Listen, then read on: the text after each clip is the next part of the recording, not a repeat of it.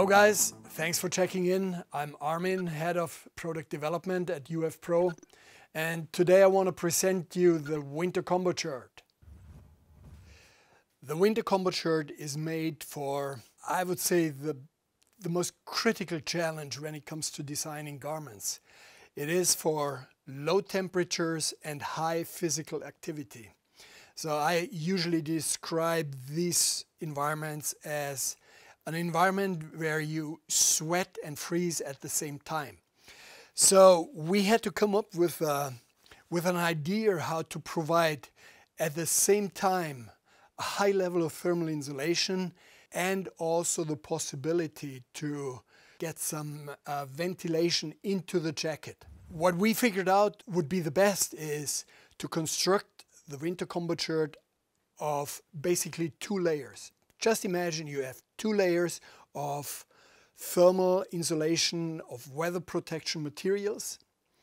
And these two layers can be used either as adding up the thermal insulation or as the space in which air can circulate.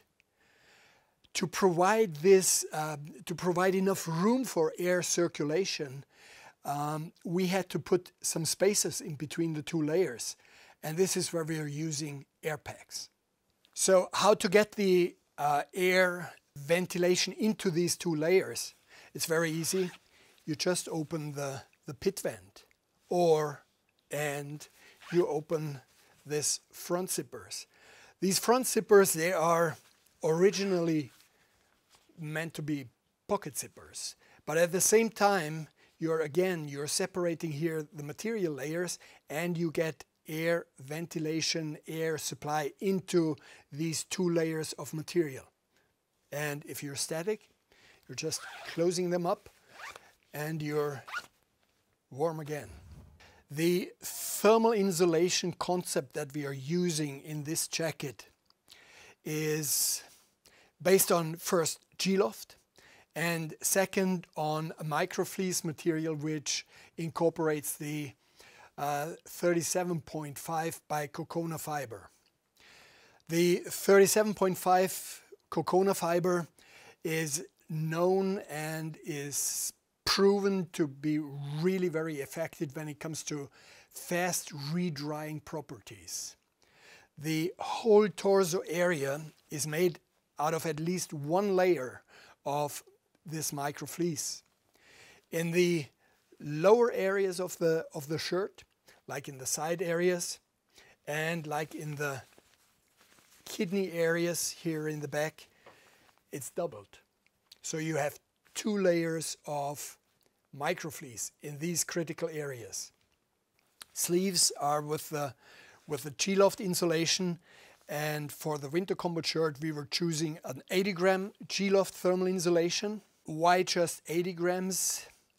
The 80 grams are then, the 80 grams G-Loft are then lined towards the body with 130 gram Merino Cocona uh, blend.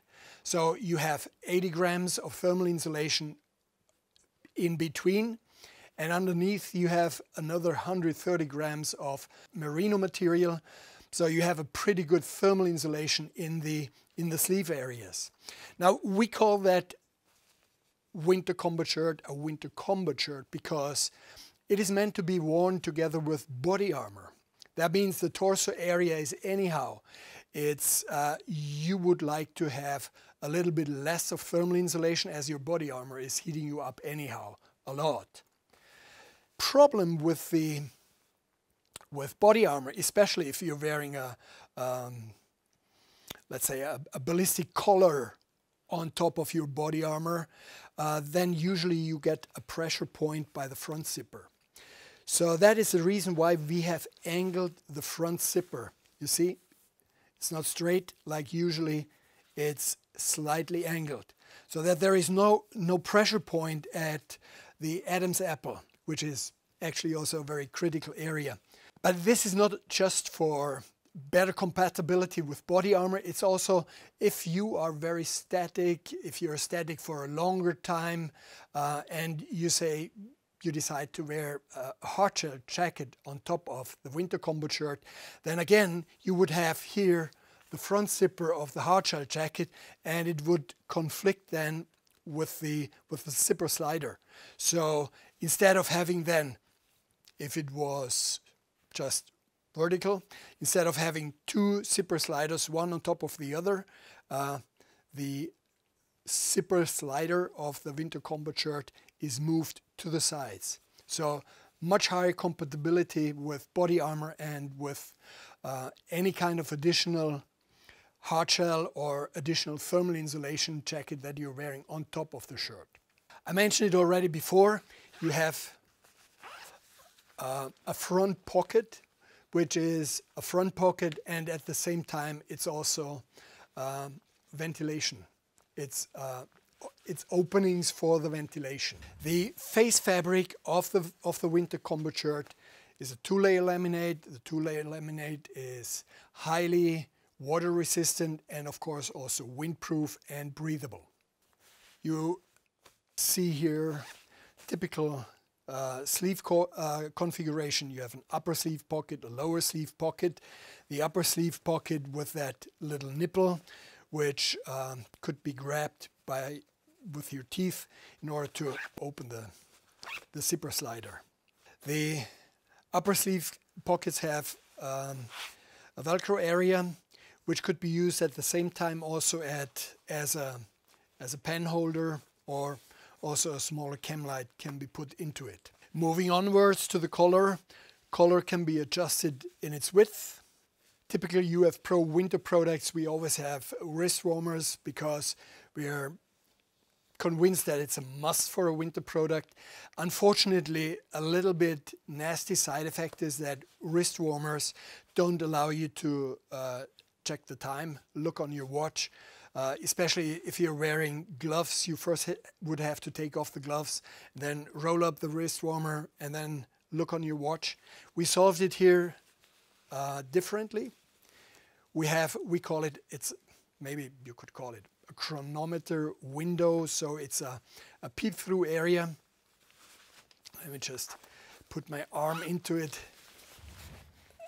Getting inside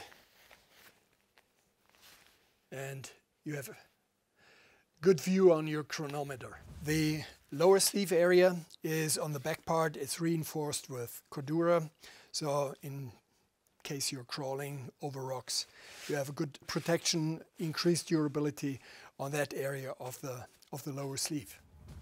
So let's summarize the main features of the winter combat shirt.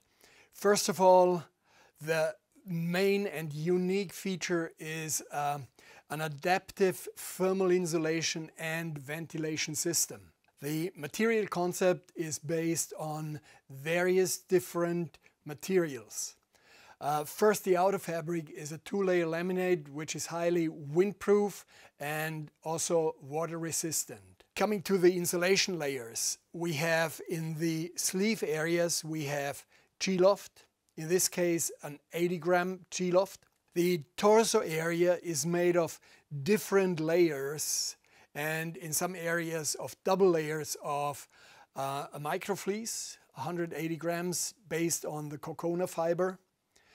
We have an angled front zipper because it provides a much better wear comfort. The wrist warmers have the chronometer window. We have upper sleeve pockets, we have lower sleeve pockets, and the velcros on the upper sleeve pockets have uh, the possibility to insert a chem light or a pen. And the collar is width adjustable. So thanks a lot guys, hope that was interesting for you and see you next time.